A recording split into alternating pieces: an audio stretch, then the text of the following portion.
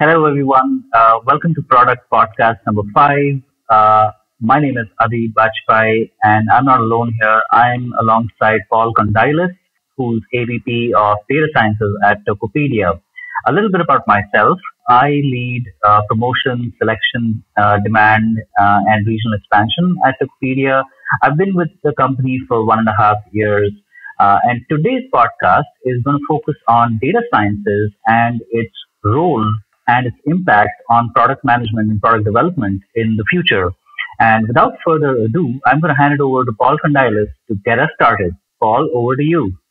Hey, thanks a lot. I'm really excited to be here. So, uh, yes, I'm Paul. I'm AVP of Data Science in Tokopedia.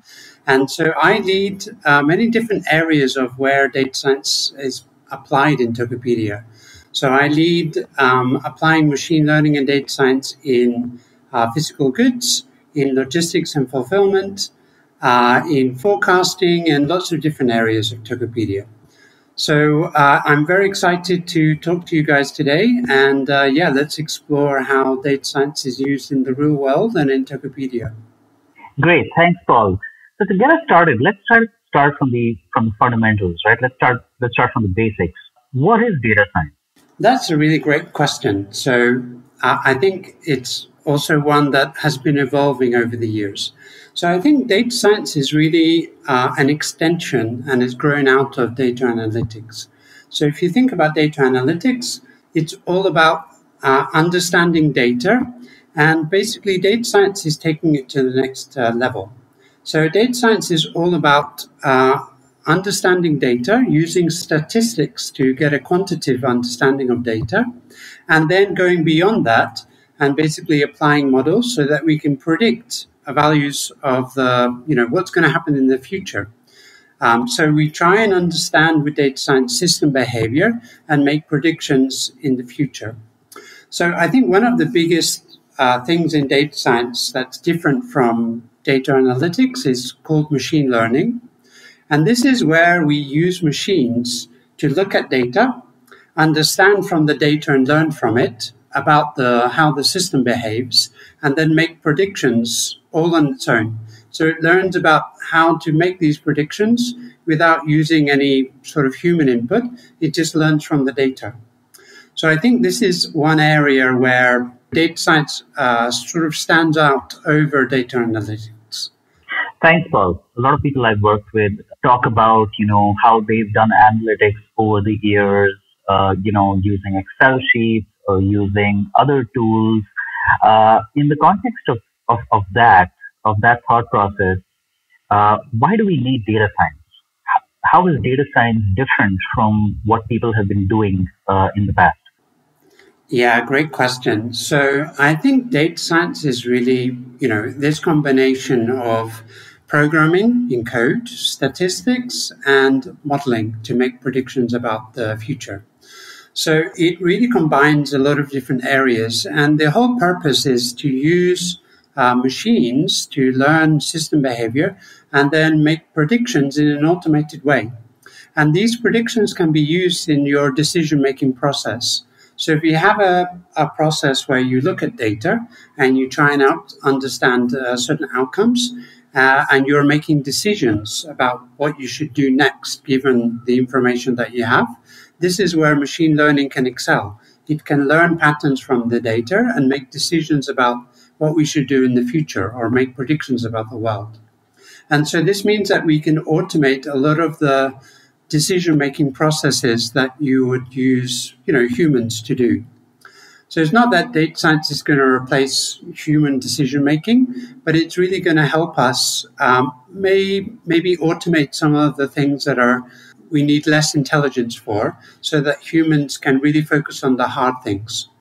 So, for example, um, you know, data science um, can be used. I think one of the first examples of data science being used in machine learning was looking at uh, cats on the internet. So I think this was an experiment from Google. Basically, they um, downloaded a lot of a lot of images, and they wanted to know: is this a cat or is it not? And so it's a funny application, but they built a machine learning model to do this.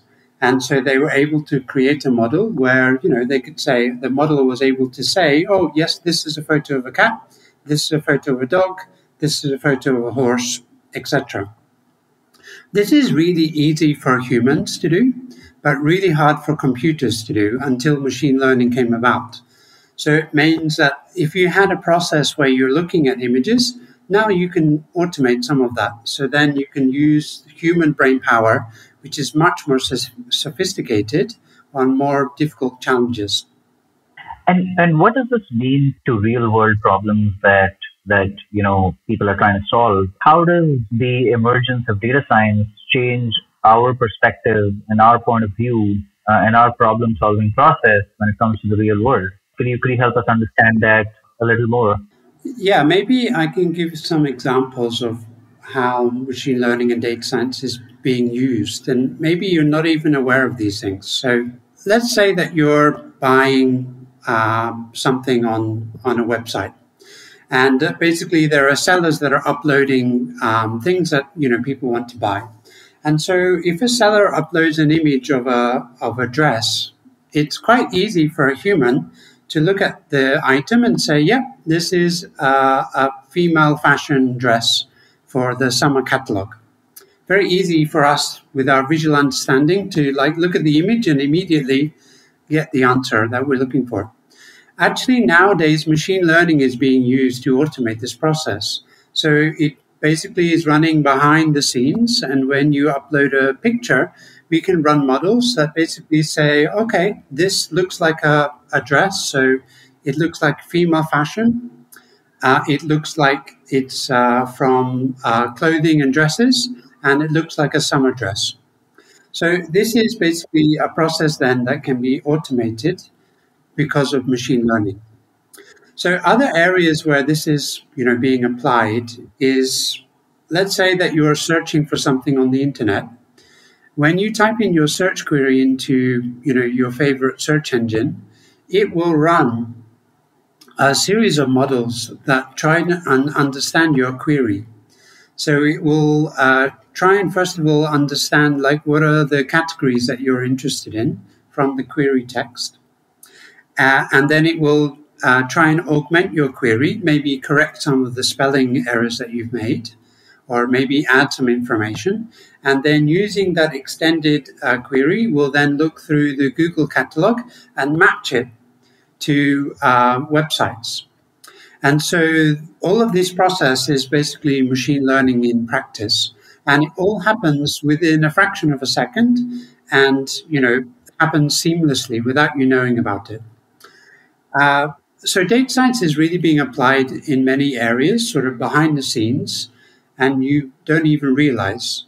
Um, so nowadays we have amazing capabilities in machine learning. So, for example, machine learning can be used in decoding speech and turning it into text. So speech to text. Uh, it can, uh, as we talked about earlier, it can be used to recognize images and what's the object in the image. Like, is this a cat or is it a dog or is it an aeroplane? Uh, it can be used to answer questions about uh, a document. So it can understand a document, or let's say read a document, and then based on a question that you have, it can answer that question for you by basically looking up the relevant information in the document. Uh, this is uh, some capability that's called natural language processing. Um, also, there are other processes that are really like revolutionary these days, which is that data, uh, machine learning models can actually now generate photorealistic artworks from a prompt. So if you say uh, the moon uh, is shining down on a mountainside with a snow covered peak and a forest of pine trees near a, a river, you can imagine the scene. Now, machine learning models can generate you an image of this scene that doesn't exist anywhere in, on Earth, but it can generate a photorealistic um, image. All right. Thanks, Paul, uh, for that detailed explanation of why we need data science. Uh, now, in the context of what's happening with data science and machine learning today, uh, the boundary between what humans can do and what machines can do is sort of blurring. So, how do we decide what problem is a data science solvable problem and what is not? Uh, and what, what are the criteria uh, which we should evaluate? Yeah, that's a really great question. So, I think, you know, the data science uh, project lifecycle goes a little bit like this. So, first of all, we evaluate the problem at hand and the data that's available to us. Once we've understood the data, that's where we can really understand, like, okay, what are the available solutions that we can use to solve this problem? Typically, uh, there are things that can be done and things that just can't be done just yet. And these things are changing all the time. So, um, some things that can be done right now is uh, uh, you know, image understanding. So taking an image and using machine learning algorithm to basically automate a decision or a prediction about that image. Uh, other things that can be done are on images again are like detecting objects within an image, uh, maybe removing the background, or even like making the uh, image of a higher resolution automatically with a machine learning model. Other things that can be done are in the space of uh, natural language processing are really if you have a document, then we can understand uh, the document and ask questions about it and automatically generate responses using machine learning model. I think what's currently sort of out of the realm of, of uh, small models or uh, out of the realm of data science not being done in big companies is more when you go into like uh, maybe developing language models uh, yourself. So, uh, you know, language models that understand documents are built on millions of documents. And so, if you did not have that information available, you wouldn't be able to create your own language model. So, uh, it really uh, to answer your question, it's it really depends on the problem and the amount of data that's available, and also the computational resources that you have at hand. If you don't have too much data and not a lot of computational resources, most likely uh, machine learning models may not be able to help you too much. But it, it there are some nuances there as well. Got it. Got it. And and for us professionals, right? Uh, what I mean, for for us product managers, especially, what kind of data science models uh, do we need to be aware of? Uh, what are the different types of data science or machine learning terminologies and models and uh, you know frameworks uh, that are important for us to be aware of? Great question. I think there are a couple of different areas of machine learning specifically that have some term, terminology that are is, is important to understand the differences. So in general, we learn from data, and there are two different ways that machine learning models learn from data.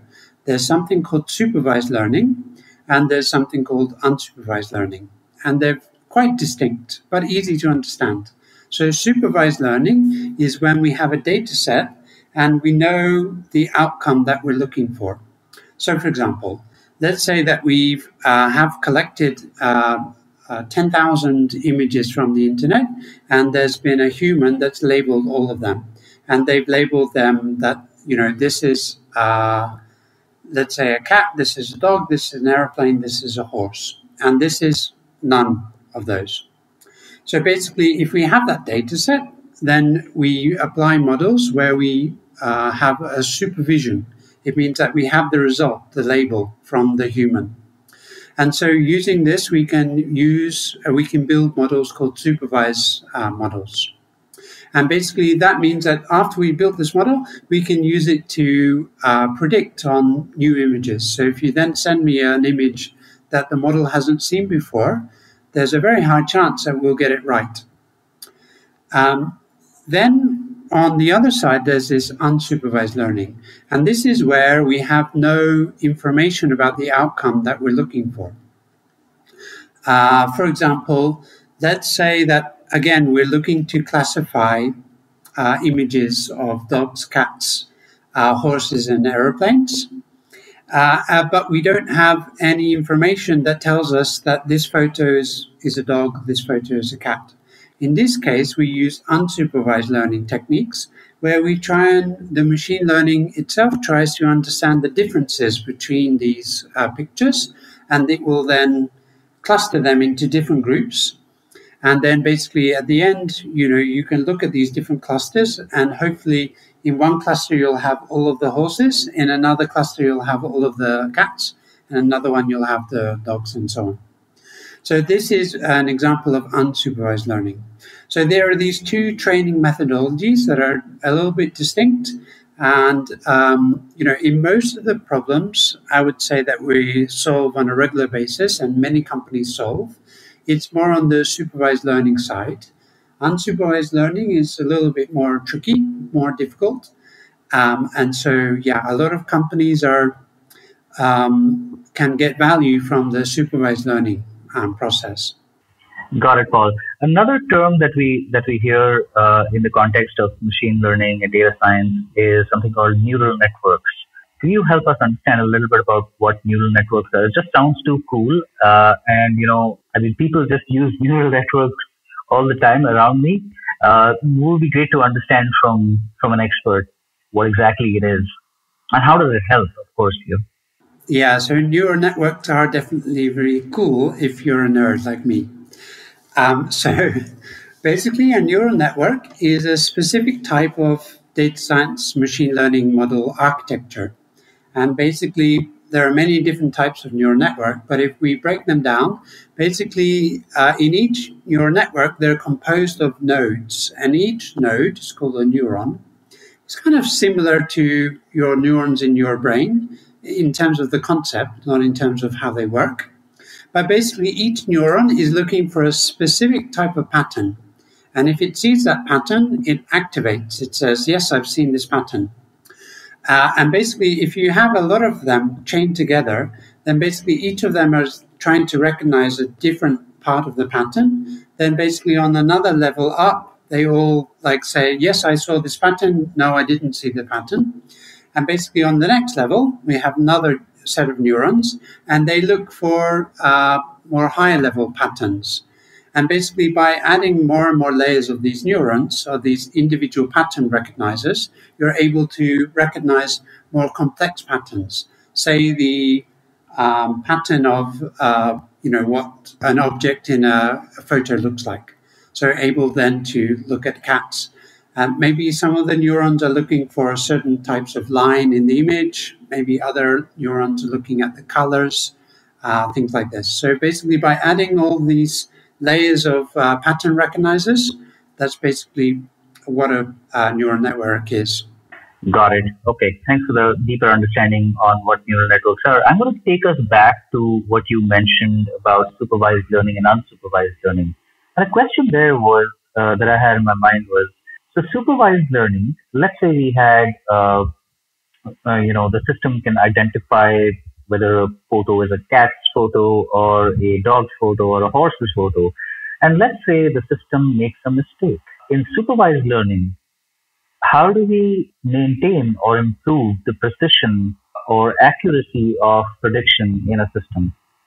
That's a good question. So it really depends on the circumstance. So, in general, there are a couple of different ways to improve model performance. One of them is if you're training the model and you see it's rapidly improving each iteration, uh, you're showing it new data, it's rapidly improving, it probably means that you just need to add more data to make it continue on that learning path.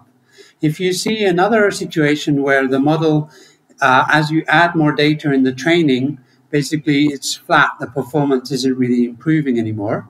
It means that probably you need to improve uh, the complexity of your model so it can, you know, add more uh, functionality to your model so it can understand more complex behavior.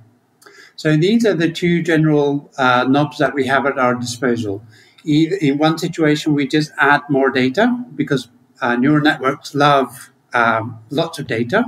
And in the other case, we need to look at the architecture itself and maybe make the architecture more complex so that we can extract all of the uh, features in the um, in the data itself. Got it. Okay. One of the things that you mentioned was lots of data, and and it's important because to to understand from a product management perspective, what do you mean when you say lots of data? Like how much data are we talking about here? Yeah. Good question. So, um, I think let's cast our minds back to 2012, and in 2012, something um, something happened that changed the world forever. Basically, in 2012, there was a competition called ImageNet competition, and basically it was to um, uh, participants were asked to build models that would classify images in one class or another, as we've been talking about. Uh, and basically, at that point, statistical methods were, you know, from data analytics, were, you know, the go-to thing that you would do is uh, handcraft features from the image and then use a statistical uh, model to recognize the class. But in 2012, what happened was that the data set that was used was huge. It had millions of images. And in this case, a machine learning model for the first time outperformed all other methods by a massive margin. And so at that point revolutionized the world in saying that, okay, yeah, machine learning has come of age. Now it can outperform other, other um, tasks when we have a lot of data. So in that experiment, they had a data set of millions of images, all of them labeled with the class. So uh, back in back in that time, you know, you would need millions of data. Now I think we've evolved somewhat. So um, you can actually do something called transfer learning, which basically we take uh, a model that's been trained on massive amounts of data that you had from downloading images off the internet, for example, and then we fine tune it for your task on a smaller data set. And this smaller data set could be, you know, a thousand uh, images of a dog to recognize dogs. Uh, and so on. So basically, instead of needing millions of images, now basically you use that as a resource to train a, a pre trained model, and then you fine tune it on your data. So instead of needing millions of images these days, now you can get by with a thousand images, maybe 10,000 in in the worst case. And in some cases, with very advanced models, uh, which are pre trained on massive amounts of data, uh, you can actually get away with just you know 10 to 100 images instead. So it, it depends on the complexity of the model that you're using uh, and the task. If there's a data set that you can use that someone's already created for you, then most likely you can use that data set with even maybe not even adding any data yourself. Um, but yeah, for most tasks, let's say I need to recognize pictures for um, a use case in Tokopedia, then I would say, yeah, we need around thousand images per class. Understood. Got it. Well, thanks for that uh, detailed explanation of, of, of data and how much data we need. And speaking about data and continuing to talk about data, because data is such an important component of, of data science and, and machine learning, how much of your time actually, the, okay, here's the context of the question. A lot of data in the world is not structured. A lot of data in the world is literally data out there. It doesn't exist in a structured database, completely cleaned up, ready to use, you know, perfect data. You and I have had experience multiple times about this. Even data in databases is, is, is not, you know, ready to use uh, many times, uh, as, as we have seen in the last, in the last uh, one and a half years. How much of your time goes into kind of just getting the right data, getting the data, oh, sorry, not getting the right data, but getting the data right for, for data science? Did, did I, yeah? This is a really fantastic question because, in fact, a lot of people misunderstand where data scientists spend their time. Most of the time, it's not on the model. The you know there are lots of models that you can actually just get off from the internet, open source models that other people have made and contributed on the internet. Uh, I think that the uh, majority of data scientists spend their time on cleaning the data. Under, well, first of all, understanding the data, what is inside this data set that we have. Uh, they then cl- clean the data. This can be like removing uh, noise. So, for example, if you're trying to do image recognition, but you have an image that really isn't recognizable even to a human, then most likely, you know, machine learning model is not going to learn anything from this image. So you can just remove it from the data set. Um, so yeah, a lot of uh, time is spent like automating the process of removing uh, invalid data. And then another process that takes a long time is called feature engineering. And feature engineering is really the next step where you try and uh, understand, okay, from this data, what are the important aspects of it? And can I develop a feature that tells me about that important aspect. And then from these features, the machine learning uh, algorithm is able to learn quicker and is able to be more precise because it really looks at these key features that are inside the data. So I think in this whole process of pre-processing the data and creating features, which is called feature engineering, it actually takes most of the data science time. Modeling then happens, uh, it's iterative in nature. So it means that after you've made a model, you look at some errors that the model produces, and then you go back to the data cleaning. Maybe you've identified some more noisy data, you can get rid of that. Or maybe you've identified some of the labels that were labeled by human are actually wrong. Maybe there are some mistakes. And so you want to relabel that data. And another thing that we um, that we often do is basically okay. So we see that these features are not particularly useful. The machine isn't learning. So let's think about some more features that might be important by looking at the errors that the machine learning model is making. So this is an iterative um, feedback loop, and it means that you know data science is not a linear process. It actually has loops, and uh, yeah, but a lot of the data science time is actually um, going into understanding the problem, understanding the data, cleaning the data, and doing this feature engineering.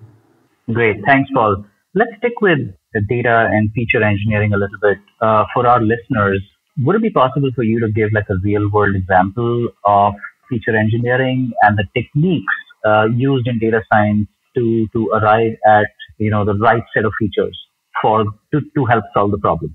Hmm, good question. So maybe let me think about a problem that we've been trying to solve that's relevant. So one of the problems that we try and solve in Tokopedia is trying to match whether two products are actually describing the same product. Let's say that we have two product listings. Uh, one is a, uh, some sort of brand of milk that's uh, 100 milliliters, and another one says it's a, a brand of milk. Uh, it's 150 milliliters, or uh, maybe the spelling is different, and it says it spells out milliliters, and in the first one it's ml. So one of the features that you could engineer is basically okay. Let's extract all of the numerical values from each side, and then we can just compare those directly. So one feature could be extracting all of the numerical values one feature could be extracting the brand value. Another feature could be extracting some other part of the text. And by, by basically extracting these things ahead of time, it simplifies the problem a little bit because instead of the model having just to decode the string, it now has some extra information that, oh, these are the numbers that are important or we think are important. These are the uh, parts of the string of the text that we think are important. So feature engineering is all about extracting information and encoding it in a different way and making a new input channel to the model. Got it. Great. Thanks, Paul. Uh, let's let's come closer to uh, closer to our experience with with data science over the last one and a half years. one of the projects you know in which we collaborated and we are still collaborating is uh, on promotions optimization. So uh, you know the business definition. I remember uh, when we started this project, last year, uh, February 2021, uh, the business defi- definition uh, was fuzzy, to say the least. Uh, so we came uh, the business, I, I, I was the I was the lead on the on the product side, and I remember we came to you to discuss uh, the possibility of being able to optimize cashback to our customers, which basically at a high level meant, hey, can we decide which customer gets a promotion, which customer doesn't get a promotion, and of the customers that get a promotion, which is cashback, how much do they get? Uh, and although we, we, you know, it was sort of a one line problem statement or maybe a two line problem statement, what happened was a one and a half year collaboration and a very, very successful outcome. So why don't you walk us through uh, your side of the world, the data science side of the world, on you know on on how how you approached the problem, how you solved it, and uh, the amazing impact you had uh, for Tokopedia in terms of uh, you know in terms of optimization. Yeah, this this was a really interesting project um, because it has a really direct impact on the business and also has a direct impact on our customers. And we try and make the customer experience as good as we can make it. And so I guess the problem boils down to, as you were saying, like which users should get which coupons. What is the best coupon for for you today when you're shopping? And so uh, there are a myriad of possible solutions. And I think the first solution that we came to was using like a data analytics uh, statistical approach to um, think about, okay, uh, applying some rules to who gets which coupons. And then from this baseline, we, we started building a machine learning approach to this problem. And so I think what we decided on what a solution we thought was best was to uh, look at what is the flow for deciding, you know, which customer should get what which coupon. Basically, what we did first was let's calculate a baseline for each customer that's coming to shop, and basically let's try and figure out, okay, how likely are is this customer going to buy something today? And uh, if you're likely to buy something, how much are you going to spend? So if we're able to calculate these things, then basically it gives us a baseline. For this customer, they're going to come and they're likely to be browsing and maybe they're not going to spend anything today. Uh, or this customer, he's browsing and he looks like he's going to uh, has a high likelihood of purchasing, and also his basket size is, uh, you know, maybe larger than than others. And so from this, we're able to take this baseline and then calculate for each coupon. So let's say we have a cashback coupon of 10% cashback. Maybe we have cashback coupon of 1% cashback, 4%, whatever the um, configurations are of minimum spend and the cashback um, percentage discount. Basically, for each of them, we calculate the uh, over the baseline again. So we say okay, if I give this customer this coupon, what is uh, his predict? What is the likelihood he's going to buy? He's going to purchase something, and what is the likelihood that his basket size is going to be of a certain amount, or what his what is his basket size going to be? And so then we're able to calculate using these predictions. Okay, the baseline was here, and then this customer is, if we give him this coupon, he's going to spend much more than he would if we gave him this coupon.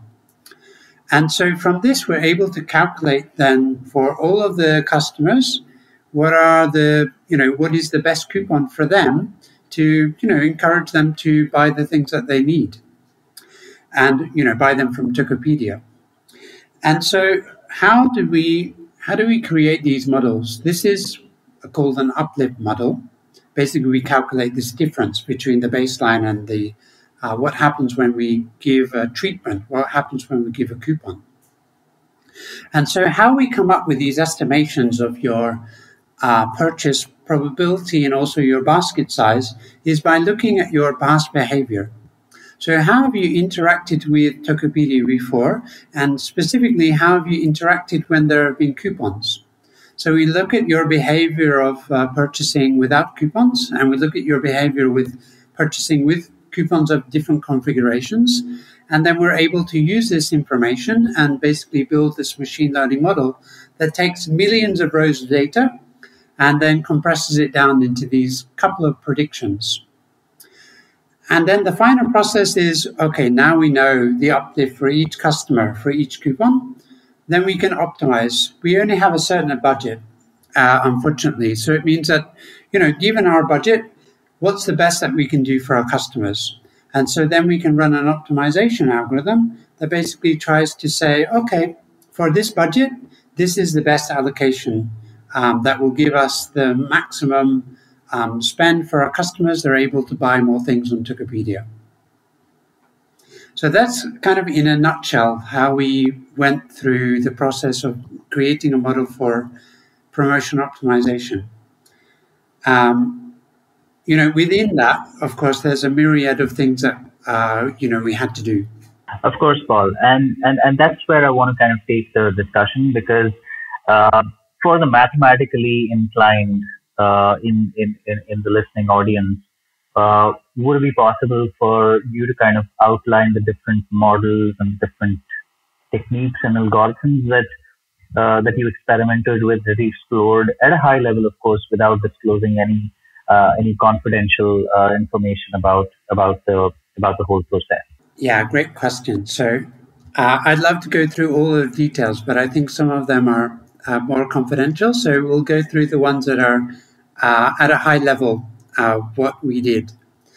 And uh, as I was saying before, like um, in our previous um, discussion about the process of data science and where we spend our time, it really is not on the modeling side. And in this case, it's true also.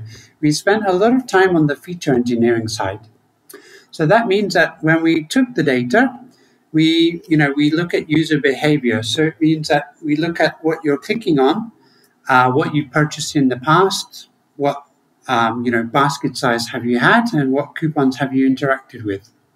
And so from this, we actually, you know, engineered, I think, something like 200 or 300 different features from this data.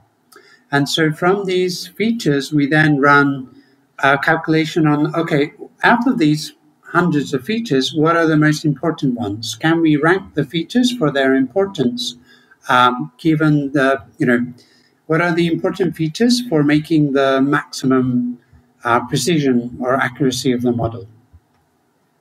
And so, yeah, basically, we run this feature optimization uh, approach where we try and select the most impactful features. Then we tune the model given those features. And then we go uh, back again and we say, okay, uh, it looks like we need more features on the user behavior side. Uh, so let's make some more features about um, what they click on. Maybe also let's look at how long they spend on the PDP page, on the product detail page. Let's look at, you know, uh, whether or not they clicked on that by mistake. Maybe they clicked on an image of a product, but then went back again. So maybe we don't count that. So through this process of like iteratively figuring out what are the most important features and removing some of the data that we didn't need, we're able to refine the model. So some of these features are looking like, um, you know, what did the user click on? Uh, how many PDPs did the user click on today? How many PDPs did the user click on in the last week, in the last 30 days, and so on? Uh, what was the basket size in the last seven days, in the last 30 days, and so on. These are important because let's say if you're shopping regularly uh, and basically, you know, you're, you're spending on a regular basis, it means, okay, that feature can be important for predicting your basket size. But in another shopper, maybe they spend, uh, you know, at the end of the month, they spend a certain amount of money and then they don't come back until the next end of the month and then they spend again. So these features can really give us information about, you know, today, what is the likelihood that that buyer is going to spend, you know, given their seasonal behavior. So using this engineering, a feature engineering approach, we really try and drill down into you know, uh, what are what is the user behavior telling us uh, in terms of like uh, how likely they are to make a purchase or what their basket size might be. So in terms of the modeling, it's really uh, you know the models are actually quite simple. I would say it's more the data engineering and the feature engineering that's important there. Great, great. Thanks, Paul. Uh, just you know uh, another question. when you started describing uh, you know, what we did in promotions optimization, we basically mentioned that hey, we started solving it using data analytics, and then we moved on to data science. The question I had was, do all data science problems actually start from data analytics, or uh, can we just jump over data analytics and go straight to data sciences now? Good question. So I think in a lot of problems, it's really useful to set a baseline. And so that baseline can be set by what you've been doing already. That can set your baseline of what's going on now.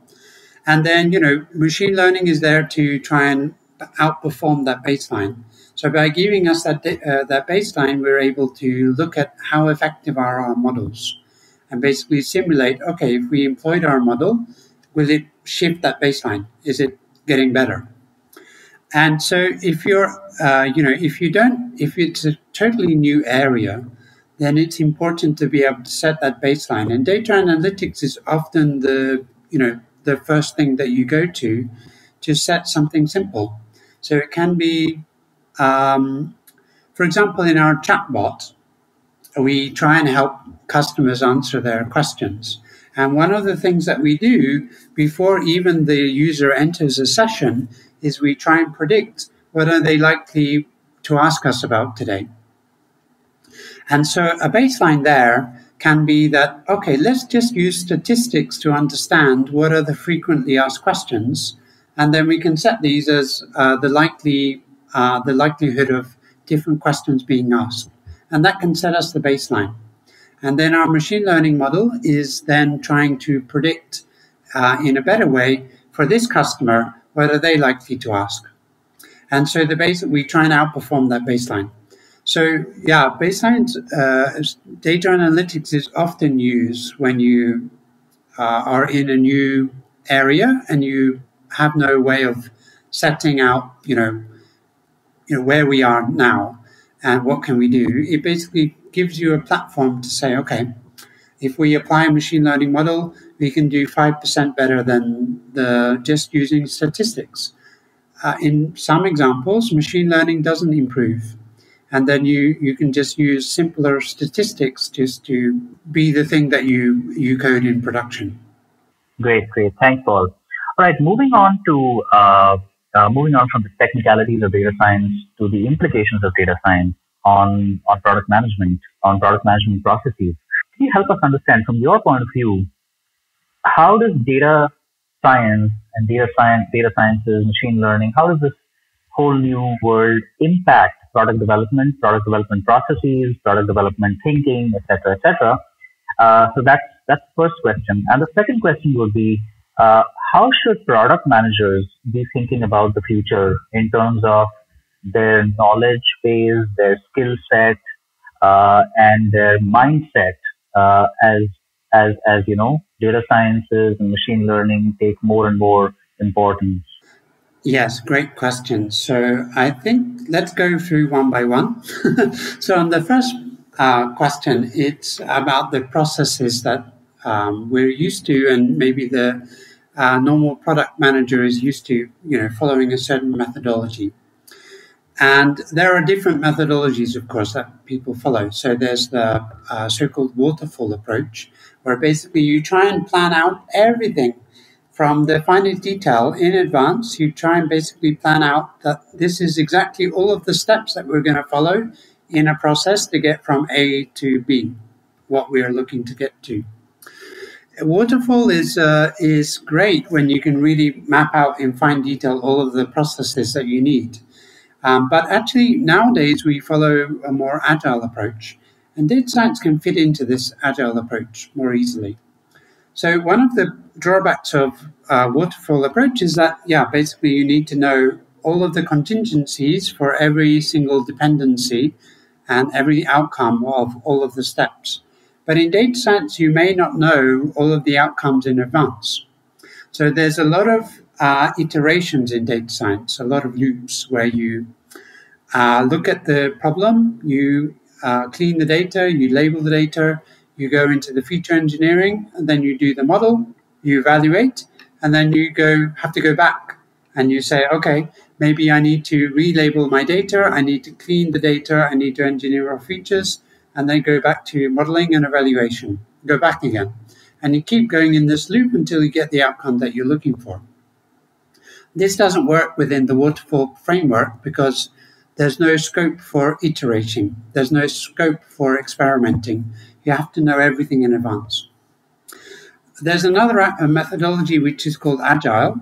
And basically, Agile is more iterative in nature. Basically, you try and do things quicker. You try and say, okay, for this week, I want to have this outcome. And then basically, at the beginning of the week, you make a plan and then you run an experiment to see if you can get the outcome that you need. And then you refine. And so, um, basically, in a sprint process, normally software engineers, uh, software engineering can be quite linear. So you can plan out, okay, in this section of time, I'm going to do this much, I'll have achieved this, and then we go to the next sprint. And in this section of time, I can complete the rest of it. And so it can be very linear uh, within the agile approach. Data science needs to be a bit more flexible, where we say, okay, we're going to need to run a series of experiments to learn what is important and to learn about how to solve this problem using machine learning. And so it means that there can be iterations. So instead of following this linear process in the first approach, we say, okay, in this week, we're going to run this experiment and we're going to see uh, either we build a model and we evaluate it to see whether or not these features were um, good enough for us. And then basically in the next step, we would um, try and build some other features. And basically we keep going, building more features. Or it could be that maybe we built a model and we want to run an experiment on our users to see how effective is our model in production. And basically, then, you know, with the, given the results of that experiment, we can then go back and say, okay, I need to tweak my model. So I think for um, managers, maybe product managers can be used to and understand the software engineering aspect of building code to solve a problem, but they and and that can be quite linear. But for uh, when data science is involved, it needs to be more uh, experimentative. We uh, basically product managers need to be aware that you know we need to run certain experiments to be able to iterate uh, quickly. So they may not we may not be able to say precisely that this to get this outcome we need this amount of time. We can say, okay, we're going to run these experiments within this time frame to learn what we need to know to build the perfect model. And so um, oftentimes also product managers are not used to having maybe setbacks. Um, maybe you know one experiment failed. We didn't get the expected result. So you know there we need to brainstorm a little bit. Does this mean that we can't solve this specific challenge or does it mean that we need to tweak something along the along the way? So in this uh, process we need product managers to be involved with the data scientists to like in the iterations to be there to basically guide us in terms of what's important. You know um, did is this a roadblocker? You know what does this mean for the project? Whereas in normal software engineering uh, you know it doesn't happen so frequently and it's more of a linear process so I think the major thing for product managers to be aware of when they're interacting with data scientists is it's a work in progress always, and it's um, you know as good as your last experiment. So being able to think of new experiments is really helpful. And to your second question, which is, you know, how how can the how can product managers be preparing for the future and what should they expect? That's a really great question. I think that we can expect machine learning to start to be used in more and more areas of um, in products where it hasn't been used before. Uh, and that's because the capabilities of machine learning models is getting better because we're getting more data, uh, we're getting cleaner data, we're able to, you know, use the history of now 10, 20 years of data science and really build on top of it. So it means that, you know, 10 years ago, I couldn't build a language model to ask, answer questions about a document. Or in Tokopedia terms, I couldn't expect a model to be able to answer user questions about a specific product. Does this product have this feature? You know, are these headphones noise cancelling or are these regular headphones? Uh, you know, 10 years ago, I wouldn't be able to use a machine learning model to answer these questions. Now we can. So now I can train models on uh, text about products and it can read the text and say, yes, these headphones have noise cancelling. Or it could be answering user questions in chatbot, or it could be, you know, basically any product, we should expect that we'll be able to use data science in one aspect of that product, or maybe all of it. And so I think for product managers, it's uh, good for them to interact with their data science colleagues because we can tell them or we can advise them what's possible today and what might be possible tomorrow. Great, Paul. I think it's, been a great conversation trying to understand, you know, the history of data science, what data science is, uh, why is it important for us, why is it needed, uh, some real world examples, uh, Tokopedia case study, uh, and, you know, what do product managers need to do to be prepared for the future. Any last comments from you for, for our audience who's, I'm sure, super interested in product management and data sciences? Yeah, so I think data science is being used more and more in Tokopedia and in other companies. And in Tokopedia, we use it in so many areas of the product experience. We try and make it better for our customers. Every day we're asking, how can we make this process easier for our merchants? How can we make this uh, easier for, buy, uh, for buyers to purchase what they're interested in? So we're using it in search, we're using it in recommendations, we're using it in understanding uh, when sellers are uploading an image, trying to decode that image. We're using it uh, basically in every process that um, Tokopedia has in our product features. And so what we can expect for the future is that a bright future of machine learning, making it easier for you to buy products on Tokopedia, making it easier for sellers to upload their products and basically, you know, hopefully get more sales. So I think the future is bright and um, stay tuned. Great. Thanks a lot, Paul. Thanks, thanks for your time and thanks to the audience for listening. Uh, if you have any more questions, reach out and we're happy to have a chat. Uh, but for now, I think uh, from Paul and I, uh, have a nice day, stay safe, and keep shopping on Tokopedia. Thanks, guys.